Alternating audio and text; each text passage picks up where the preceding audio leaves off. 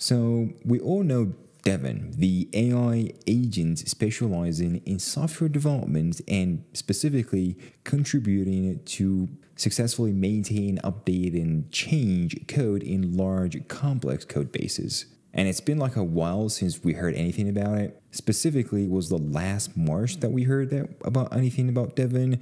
And the latest benchmark we saw from Devin were that Devin was leading compared to every single other LLM by 13% on the SWE benchmark or the software engineering benchmark, which basically like takes real world GitHub issues on real world repositories and tries to solve them using AI or large language models, agents in large language models, and see how well it does compared to those. And is it like successfully being able to solve those like a real engineer or not? And now, a couple months later, the same benchmark, the SWE benchmark, has got a brand new model using OpenHands and the Code Act View 2.1 using Claude 3.5 Sonnet, and it has resolved quite literally 53% of the benchmark like 53%. We went from 13% Devin last March to 53% in a couple of months. Well, I mean, I wouldn't call it a couple of months, but more of like a year. But actually seeing the improvement from 13% to be able to solve like now more than half all of the available GitHub issues successfully, all by an AI agent no help from like a third party developer, nothing like that. Just give it a GitHub issue. It tries to go through like the issue itself, understands the issue, what's happening, reads the code base, initialize the code base, run tests by itself, literally does like everything from literally everything like what a software engineer would do. If you imagine yourself as a software engineer trying to debug this or solve the issue, you would basically like go ahead and clone the repository, install the dependencies, start the projects, reproduce the issue just to see exactly what is causing the issue, debug it, of course, and solve the issue. And that's exactly what the AI agent does. And now it's actually way much better than us. I mean, what would happen in 2025? That's like what is super scary to me. And I'm pretty sure a lot of you guys are wondering. And what is happening with Devin? Because last time we've heard from Devin was on March 15, and Devin was 13% already, like ahead of everybody else. We haven't heard from the Devin team or the Cognition AI team just yet, but I'm assuming there is a huge improvement already. So what is this benchmark? What is this SWE benchmark? It's a set of like GitHub repositories, mainly Python GitHub repositories, very well known repositories that were collected by the SWE benchmark team and like analyzed and verified against like the specific issues that provided and created like a data set for you know training or testing or validating the different language models. And all of those have been like different language models that were like did run or get validated through the SWE bench kind of like benchmark. And of course, there's a bunch of stuff in here. For example, you see RAG plus Claude 3 Opus or Claude 2. They were doing like 4%, 0.40% in here, GPT 3.5 plus RAG, and going all through from like um, Amazon Q Developer Agent to Honeycomb to Solver, uh, Emergence E1, a bunch of them to recently in here, OpenHands, which uses behind the scene the Claude 3.5 Sonnet that was able to duck solve all of those. And this was just like most recent one, 2024 or the 29th of October, like just a month ago from now. And um, yeah, I mean, everything looks pretty good from here. And if you just go in and click on the website in here, OpenHands is actually really good. Um, they have like their own website. It's like an AI agent as well it's the leading one in here. You can go in and like run it locally. It runs on your machine, on your browser more specifically, and it allows you to do something like this. That's basically like a video for it. So, you know, you give it a what you want with a code base or something, you want to create something. And the AI agents, like any other AI agents, or this is like the optimal one now, uh, it's going to go ahead and do like everything for you, run scripts, um, you know, write code, write or design landing pages for you if you want, pretty much everything that you would ask it to in a very, very nice way. Uh, I'm not a big fan of their interface. Hope they kind of like improve that because I was trying it. It's not really perfect, but it actually works really, really well. Now, behind the scenes, it uses this SWE agent, which is like the main engine that powers OpenHand, OpenHand is like the framework. This is like the single agent implementation. So technically speaking, you can take this agent, the SWE agents in here, you give it a GitHub issue, and it goes ahead, clones the repository, does all the necessary steps in order to debug the issue, solve the issue, test if the issue was fixed on the original repository or not, and create a pull request. Yes, an actual pull request for you on the target repository and says, oh, there you go. We've got a pull request fix for you. You can go in and validate it for yourself if you want, but it does all of that just by providing it a GitHub issue, which is absolutely mind blowing. So this is what the SWE Agents app looks like once you go ahead and set it up. It's very easy to set up. Just install the start to start the actual like application in here localhost 3000. So this is the interface. It's pretty simple. Here you give it the GitHub is issue in here. Um, you can go in and select like a problem source, like the, if you want a local file or right here, like if you want to actually write the problem and you give it the repository and it does for you. But the most interesting part, of course, is actually giving it or handing in a GitHub issue you want on here and it does the job. So I already did give it a GitHub issue in here. So the issue is like this on the Loguru. Uh, hopefully I'm spelling this right, but it's like a login sort of uh, tool for Python, which makes logging make made easy, stupidly simple. Uh, it's it's really good in here. I absolutely love this one. So what I try to go ahead and do is actually go to the issues in here, figure out one of the issues that were solved most recently, and uh, of course I wanted the issue to be like simple enough in here so we could validate ourselves in here and not spend hours just debugging what's going on. And of course, we need to make sure the issue has already been fixed by a PR. So this issue has been fixed by a PR. This is a PR for the issue that fixed the issue pretty much. And um, yeah, you can like, of course, for the PR in here, what we wanted is to check what were the changes. So we could like compare them with what the, you know, the agent, the air agent did just to make sure that the agency is not like fooling us and it's actually like solving the issues for us or the GitHub issue for us. So uh, yeah, so look, I went ahead in here, I said before, I gave it the issue, I did click run, and I actually just started running from environments initialization in here to like you know, understanding exactly what's going on. So it's like, oh, let's start by examining the contents of the current directory to get an idea of the repository structure. It tried to look into the different files that the repository has. Of course, it did clone the repository beforehand. Um, it's goes in here, just going inside like SRC, logo, battery exceptions. It tries to like analyze what's going on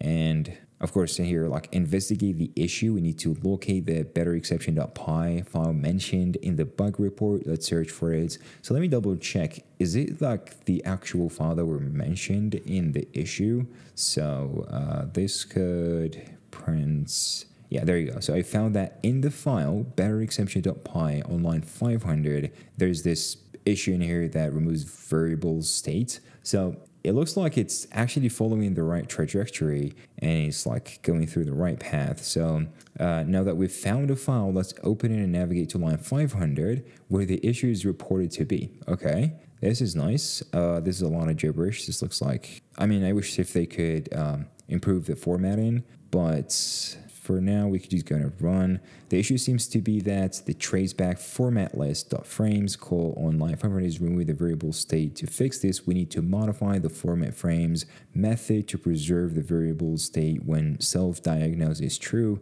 Let's modify the method to include variable state in the format output when self-diagnose is true. So it looks like it tries to modify um, the format method to preserve variables Okay, so format frames. Let me just go ahead and take a look. I'm just going to go and search for this. Well, I mean, this doesn't look like it does exist in here. Um, but if I, I think if I use this, this is actually like another um, sort of like a web UI that allows you to follow the specific trajectory of like a specific run. For example, this is the run for the Loguru is in Claude 3.5 Sonnet. It just like gives you you know, like the whole logs of the evaluation report, the system report, demonstration, and stuff. But we care about the SW agents in here. So this is basically like what it did. Uh, and it kind of like, it tried to trace this, like trace the issue back to. So the issue seems to be that the trace back to format list colon line 500 is removing the variable state. To fix this, we need to modify the format frames method to preserve the variables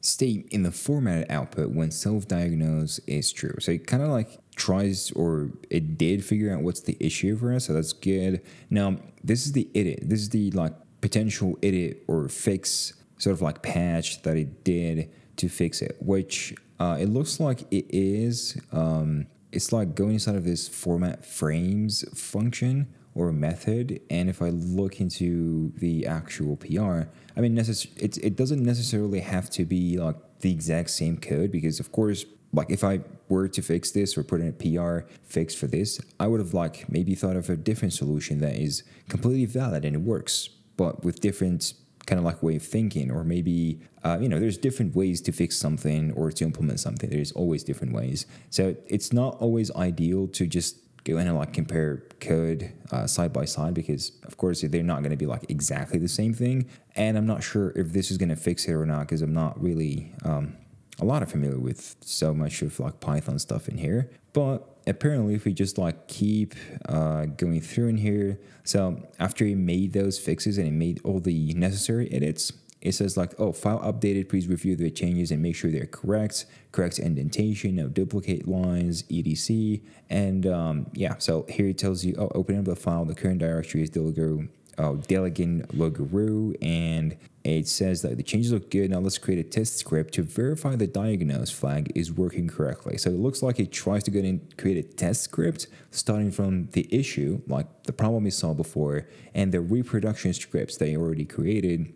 So it created this uh, test script, which is like this import logger import um, from a logger import logger, and it has used to add diagnose equals true and um, it tries to define this test function. Int it tries a divided by b then logger the exception test completed checks test log for results.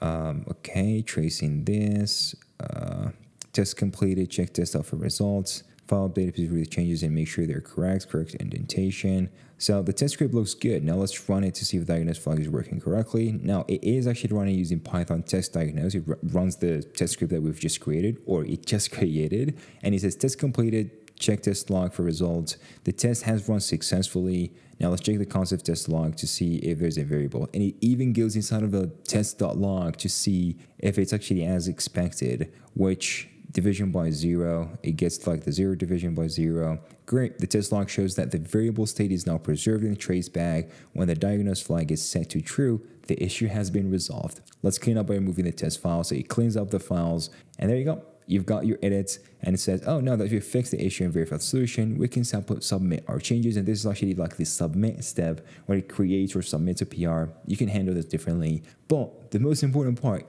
it did all this by itself like the way of thinking as you saw like the logs it's really fascinating. It feels like you know like an actual human engineer is thinking behind the scenes and doing the different um, you know logical tests and creating a test file and running it and seeing the logs. It's doing all of that by itself like completely by itself. And that's why this one is literally solving like 53% of the SWE benchmark, which is amazing. I absolutely love it. And it's also frightening of what comes next in the future from all of that. So I'm really excited about this. I would love to test this more with better user interface because I'm not a big fan of this one. But the most important part, this is actually fascinating. I'm, I'm mind blown, absolutely. Oh yeah, and if you want to check exactly what the SWE benchmark looks like or what are the exact repositories that this did run on. So for example, I'm using the Verify split the most recent one, 29th of October, OpenHands and Code X, which is the one that got 53%